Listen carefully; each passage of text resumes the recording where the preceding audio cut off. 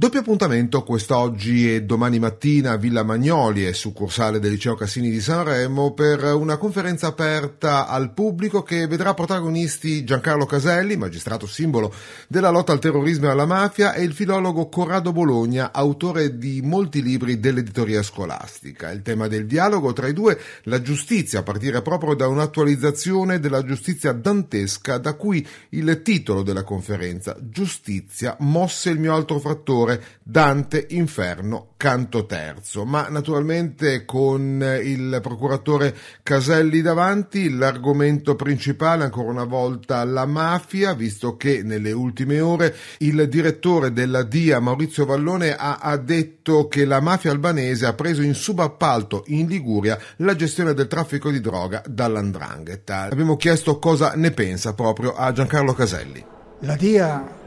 colgo l'occasione per ricordarlo, è una creazione di Giovanni Falcone. Quando viene cacciato, sostanzialmente cacciato da Palermo, perché a qualcuno non andava più bene, perché invece di occuparsi soltanto di malacarne, mafiosi di strada, cominciava ad occuparsi anche di rapporti tra mafia, politica, affari e via seguitando, va a lavorare al Ministero della Giustizia e qui si inventa, crea la Procura Nazionale Antimafia, le Procure Distrettuali e la DIA questa specie di FBI italiana con competenza antimafia sull'intero territorio nazionale. Quindi quando parliamo di DIA parliamo di una eredità importante che ci ha lasciato Giovanni Falcone. Vallone, per quanto lo conosco personalmente, ma il mio giudizio sicuramente non aggiunge né toglie non molto, è un uomo di assoluto, eccezionale valore quello che dice è sicuramente rispondente al vero, frutto dell'esperienza, delle indagini, delle conoscenze che lui e la sua squadra, la DIA, hanno eh, raccolto. D'altra parte che ci siano punti di collegamento, io ripeto, sulle, di, direttamente per quanto riguarda la realtà genovese non so nulla, non posso che confermare per stima, perché so che quando parla non parla sicuramente a vanvora ciò che ha detto Vallone, ma in generale eh, i rapporti fra l'andrangheta e alcune organizzazioni criminali straniere, soprattutto per ciò che riguarda eh,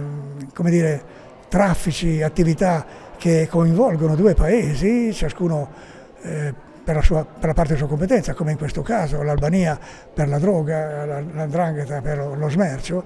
eh, magari anche non soltanto in Italia, ecco sono cose secondo logica e buon senso, prima ancora che eh, siano verificate e autorevolmente confermate da Vallone.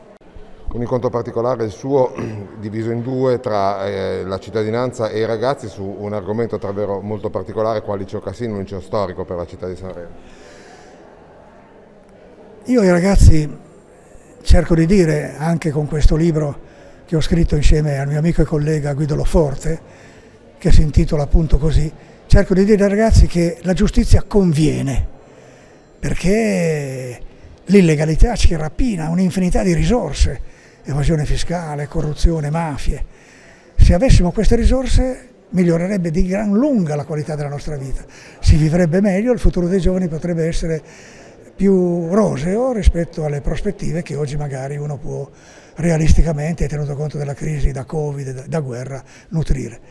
E tutto qui, ecco. poi ci sono naturalmente tante altre considerazioni nel libro, tante altre cose di cui parleremo con i ragazzi, anche oggi con l'esperto di Dante Alighieri cercheremo un confronto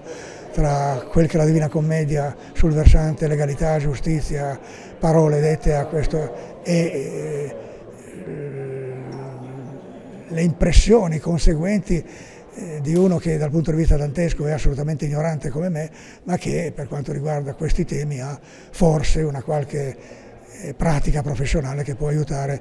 a far fiorire questo confronto che francamente non so bene come andrà.